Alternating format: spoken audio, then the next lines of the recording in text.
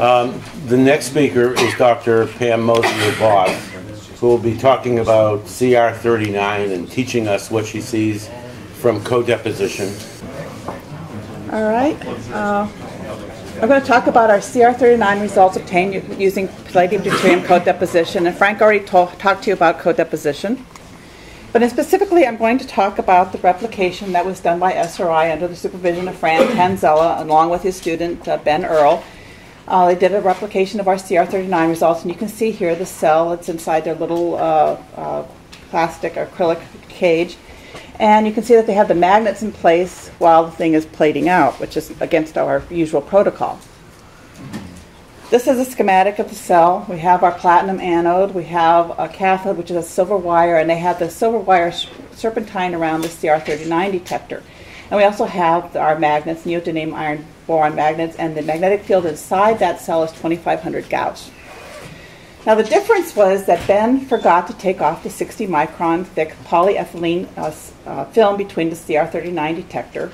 And so this film was between the detector as well as the cathode. And it turned out that was a good thing, as we'll see later. Uh, the lead curves indicate that the polyethylene cover will block 7 MeV alphas and lower energy as well as 1.8 MeV protons. And the one thing about the detectors, they did two experiments, they called them 10.5 and 10.6, was that these were not, not only the most analyzed detectors in the history of, of uh, this, this field, but they were also the most traveled. So I sent the CR39 detectors to Fran from San Diego to SRI, which is near San Francisco. He did the experiment. The experiment lasted two weeks. He etched them. He sent them back to me for microscopic examination, back to San Diego. So I took them from San Diego, sent them to Washington, D.C. to Larry Forsley, who had them scanned. Larry sent them back to Fran, who then sent them to Russia, where they underwent sequential analysis. So these were the most traveled detectors in our history. So here's the result of our microscopic examination. You can see that there's lots of tracks there, even though we had this 60 micron polyethylene film between the cathode and the detector. And here you see what looks to be a, a triple track. Here we have two little, uh, a little mouse, little ears there, and you can see that they're breaking away from a center point. And Larry already showed you the rogues gallery of triple tracks. These triple tracks are indicative of neutrons with energies greater than 9.6 MeV, and these neutrons can cause the carbon atom to shatter into three alpha particles. And we had exposed uh, CR39 detectors to a DT neutron source, and you can see that there's different shapes, and these different shapes result from the fact that there are four different channels in which the carbon breakup reaction can occur. But you can see that ours match up exactly with what's been observed for DT neutrons. So if, if, if they look with, uh, like a, a, a neutron, shattering reaction, then that's what they are. In fact, Johann Frenzy agreed that that's what they are. So Fran took a photograph of the polyethylene film at the end of the experiment, as well as a photograph of the HCR39 detector. He measured uh, the uh, resistance on either side of the polyethylene electrode and showed that the, the uh, palladium had not gone through the polyethylene film, so the tracks that we see are not due to mechanical damage uh, of the dendrites piercing into the CR39 detector. And here are the scanned results here from the front as well as the back, and you can see that the tracks pretty much line up with where the position of the wires were. Here are the results of the scanning. This is a scanned image here with the uh, optics fo- focused on the surface of the detector and deeper down the detector. And you see these bright spots. Uh, these bright spots indicate that these are nuclear generated tracks. This is the property of what you see for nuclear generated tracks. And the scanner identifies all the objects in that image and then does a bunch of algorithms to determine which tracks, which it positively identifies as tracks and which ones it throws out. And the green are the positively identified tracks. And here are the results of the scanned results. Here we have the counts versus the major axis. We have a huge population of tracks here at about two micron size. And then we have another set of tracks here, second population. These cannot be due to alphas because that polyethylene film is going to block alphas, so energy is less than 7 MeV. So probably due to other energetic uh, protons, other energetic alphas, as well as uh, neutrons. And you can see the uh, minor versus major axis. We have some circular, preferably circular tracks as well as tracks that have some ellipticity.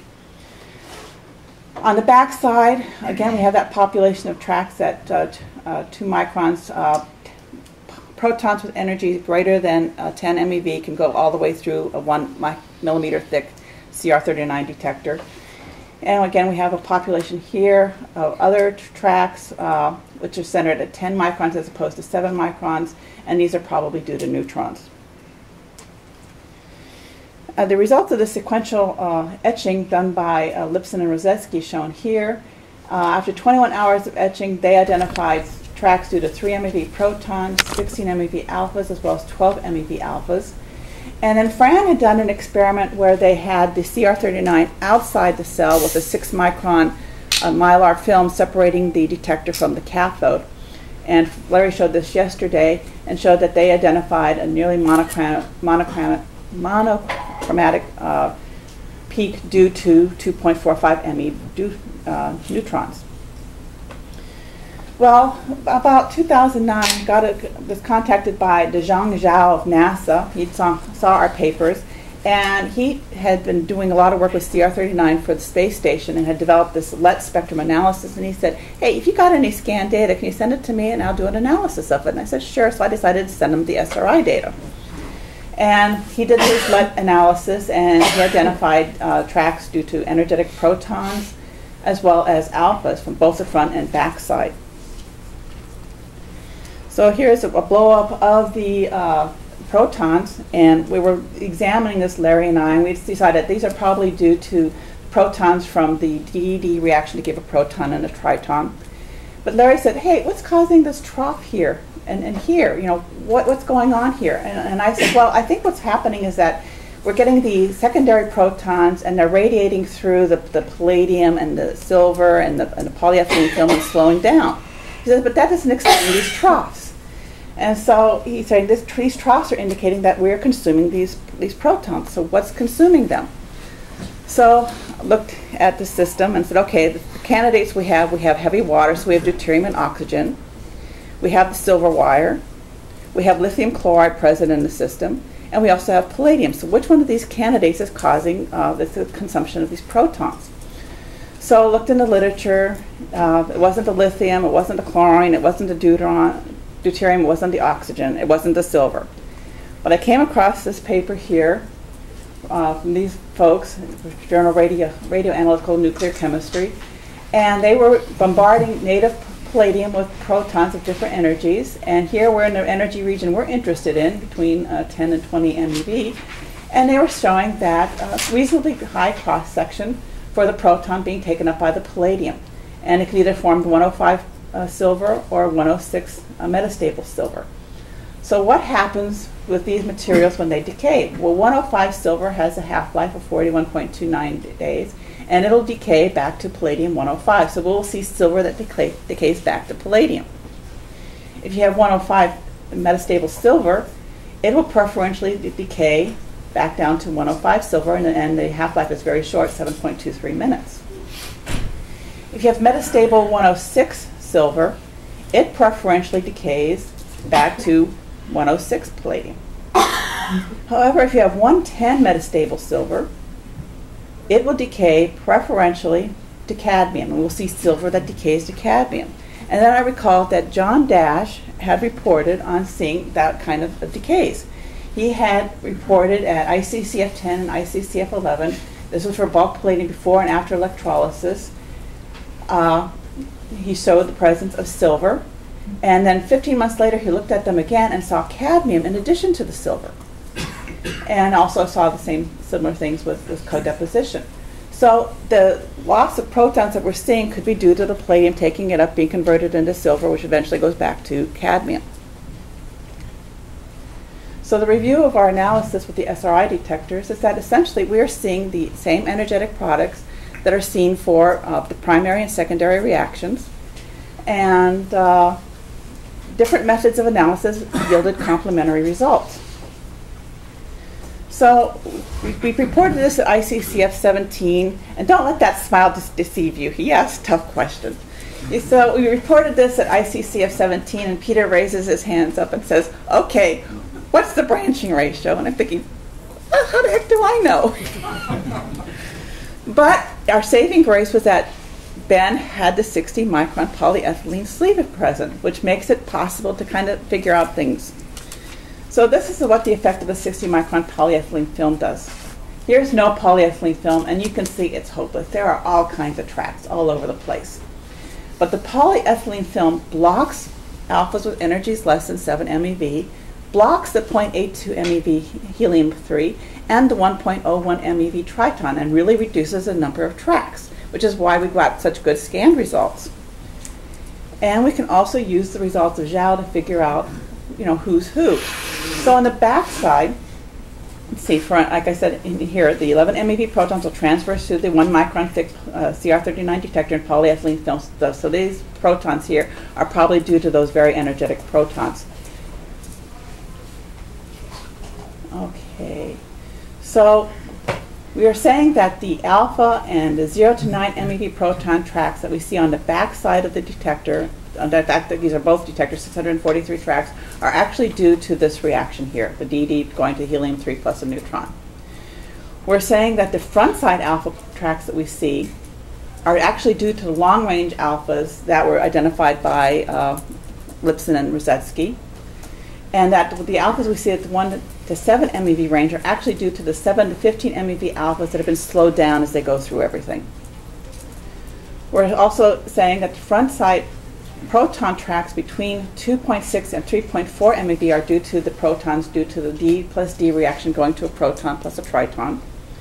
And the front side tracks, which numbered this, between 3.4 and 15 are MeV are due to the secondary uh, uh, reaction where deuterium reacts with the helium-3 to form an alpha plus the energetic proton.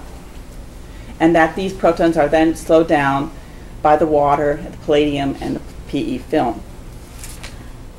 So let's go to look at the back side. Uh, we have the D plus D primary reaction going to helium-3, which is blocked, and the neutrons. We have 643 tracks on the back side. Uh, this reaction will occur equally throughout the CR39, so you'll have the same number of tracks on the front side as you do on the back side. So this is the correct. So this is the corrected number of, of, of tracks front and back. The uh, efficiency of uh, CR39 for pro, for neutrons is given here 1.17 times 10 to the minus fourth. So our number of neutrons is 1.1 times 10 to the seventh. As confirmation, we look at the uh, analysis done by uh, Lipson and Roussetski, where they did a sequential etching of the CR39 detector outside the cell. Uh, they saw 248 DD neutron tracks. Uh, the efficiency, again, is given here.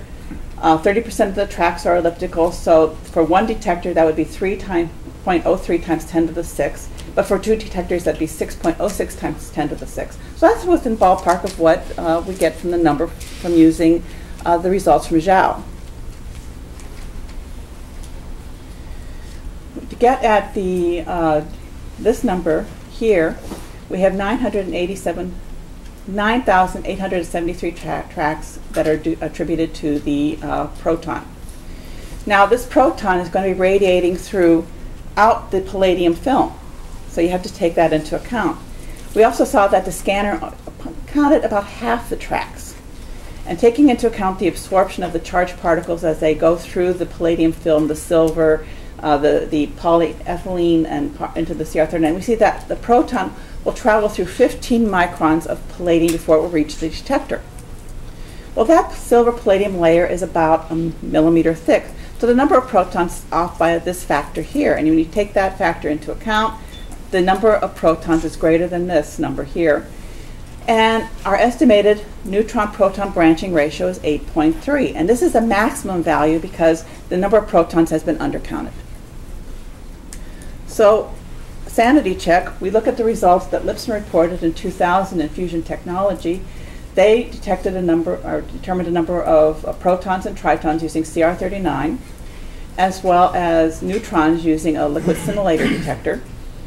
They had a silver palladium, palladium oxide heterostructure that they electrochemically uh, loaded, and they detected this number of neutrons, 19 times 10 to the minus 3 neutrons per second, and their protons were 4 times 10 to the minus 13 protons per second in 4 pi solid angle.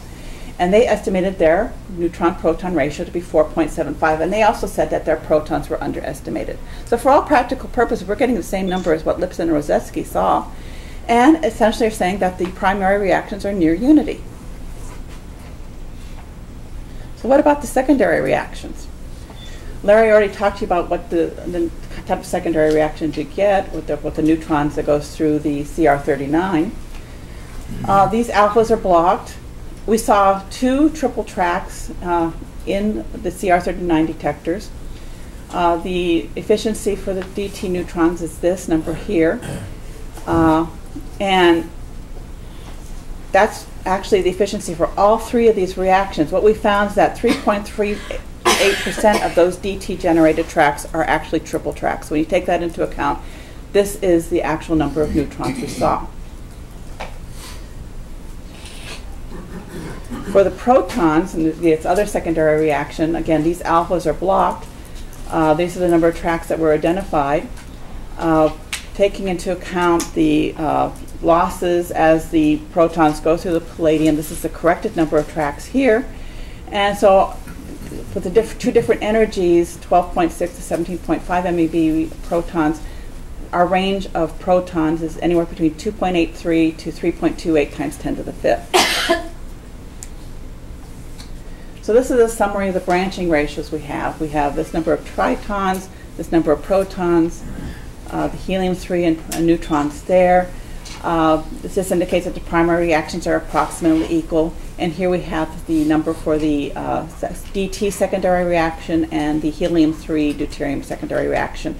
And this indicates that the DT reactions are slightly favored over the helium-3 deuterium reactions. And do we expect that to be the case? Turns out we do.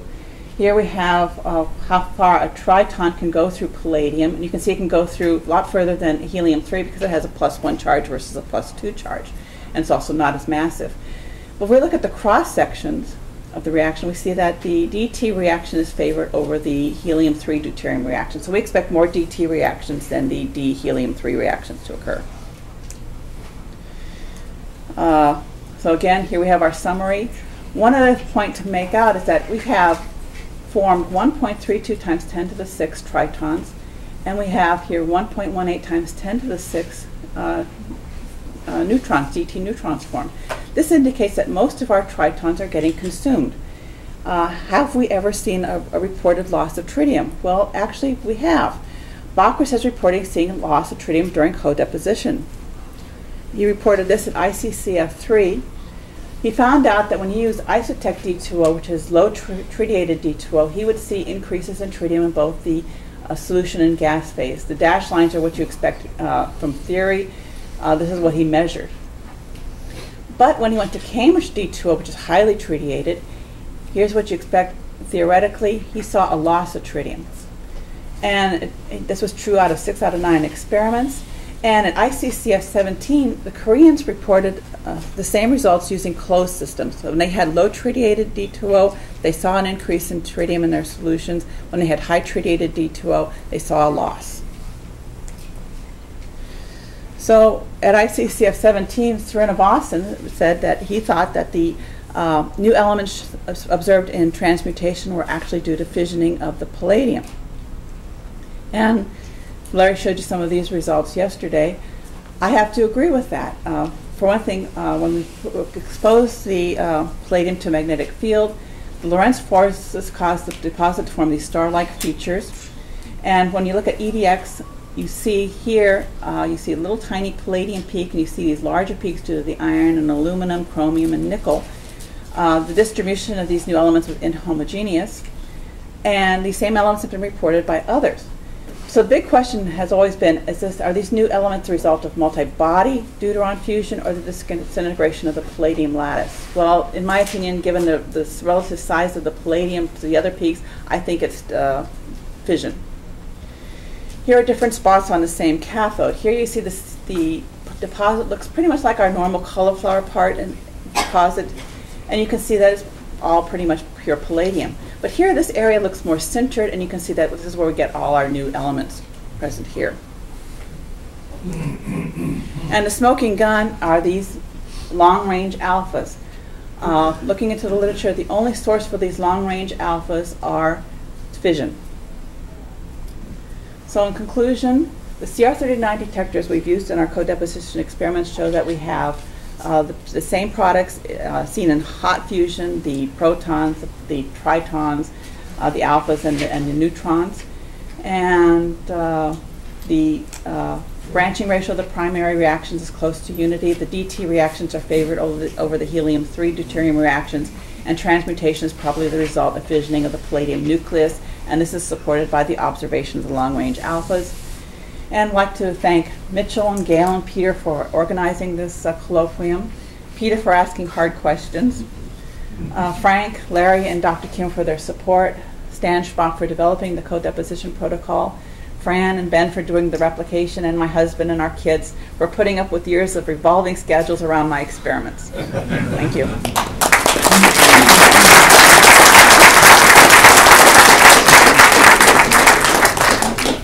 Questions? Turn the lights on. Oh, okay, what's your hard question this time? What's my assignment this time? Um, I enjoyed your presentation um, a lot, and um, I- I- I'm not going to apologize then for asking all my hard questions. So my question today, um, uh, basically two thoughts. One thought is, did you double check the yield fractions for uh, uh, one MeV uh, triton in a palladium deuteride? So the issue, years ago, people were thinking that if you accelerated the deuteron to high enough energy, then if it goes into deuterium gas or palladium deuteride or something, then the yield ratio, if it's high enough, will allow you to make a, a reactor, a very simple kind of reactor, because you get more energy out than you put in if the yield ratio is high enough. So we calculated the yield ratios for deuterium, and they're not high enough to sustain um, a, a reactor. So the, the issue of the yield ratio is, is, is one that's sort of close to my heart. And uh, I recall that the DT cross-section is really very high, so that's very encouraging. But I, I'm kind of not remembering that the yield ratio for uh, one MeV triton is all that particularly high. So, uh, Well, for yeah. example, if the yield ratio were like 10 to the minus 2 or 10 to the minus 3, then that would give you 14 MeV neutrons level, you know, down from your other reactions. And in, in a sense, this is the calculation that Roussetski went through um, when he was trying to figure out if he was getting the right number of 14 MeV uh, neutrons. So that, that's my question, is the yield ratio of the triton and uh, palladium deuteride. And can be checked offline. Well, I, I don't think the yield ratio is near one. Well, you know, given that when the triton is born inside the palladium deuterium lattice and it's fully loaded, and it's zipping through there, and it go, it can go quite a ways, 43 microns I showed there, and it's going through 10,000 unit cells. It's got good odds of hitting a deuterium. And again, the cross section is as high. Well, i- if you think about it, if, if what you said is uh, true, then you've got, you can file a patent on a new kind of reactor. So you, you, you load up your target with uh, deuterium. You get an accelerator, you take tritium and you accelerate it to one MeV, which you can do with, I don't know, sixty to eighty percent efficiency. Now you get, you get all kinds of energy out. You get uh, uh, 20 uh, MeV uh, energy from having put in one MeV of uh, kinetic energy through your, triton. So now you can power the world just by accelerating tritium into deuterium. So in, in a sense, because people don't do that, you know, the, yield fraction sort of has to be below 1 in 20. And I think it's a lot lower than that, but I'm not sure. I gotta double check. Well, just based on the numbers we got from Zhou's analysis and our microscopic Well, analysis. y- Your numbers are good, and, and, and your experiments are great. The, the issue is the interpretation. The, the interpretation, the conclusion I come is that come with, uh, from your data, is that the number of 14 MeV neutrons is, is more than can be accounted for from your DD reactions. So some of your 14 Okay. All right, well, I know that Zhou uh, looked at, at the possibility, because another way to get uh, energetic, to- another way to shatter the carbon is, is through an energetic proton. But that, the proton had to be what, 20 MeV, was Yeah, it had to be over 20 MeV, and it- we don't have energetic protons enough to do it, so the DTs, Is the only triple tracks source? have to be from the neutrons. But it's fine that they're from the neutrons. The only question is whether the neutrons are from DT reactions or you get DT reactions at the rate you'd expect from the yield uh, fraction for uh, the 1 MeV triton. Right. But the other 14 MeV neutrons have to be from some other process. But that's the question, what other process gives rise to that? That's the hallmark of an DC fusion neutron. And it's, Peter, it's more than that, because we previously measured and published and showed that we had a range from 12 and a half to about 15 and a half MeV, which just again brackets that reaction, that path. I, I was going to point out that if you, uh, independent of how you created it, if you created a, uh, what's called a Bohr state, a nuclear excitase, if you put in some energy, it decays through all available decay modes. So it's like you've got a hot nuclear matter and wants to shut, uh, dump its energy. So it sheds it.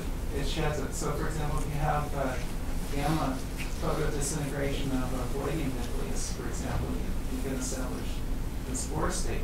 So it gets rid of alphas, and the alphas are sort of in the range that you're measuring. It gets rid of protons, and the protons are sort of in the range you're measuring. It gets rid of neutrons, and neutrons are sort of in the range that you're measuring. So that kind of thing. Namely, your, your fast alphas, from my perspective, have to come with the fast protons and the fast neutrons. So the, the issue is, is how many fast alphas do you have relative to how many fast neutrons? That, that's, and, and also fast protons. That's the ratio that to me is, is really interesting ratio. So that, that, that's the hallmark. No, actually, that, that ratio is calculable from what we've got, but it it raises an issue with the International Space Station and space dosimetry. Because I'm arguing right now with Zal that they have misinterpreted as alphas what are in fact neutrons. And they were unaware of the work that Gary Phillips had done prior to our coming along with this. But the point comes down to, we can differentiate the two by the ellipticity of the tracks. And so there's another set of analysis of this data, which has been analyzed to death, to be reanalyzed to death again. And the question you just raised is one I hadn't thought of, but now you've pointed out the importance of it. You, you guys have made such good progress on this problem. I'm, I'm very pleased and very impressed.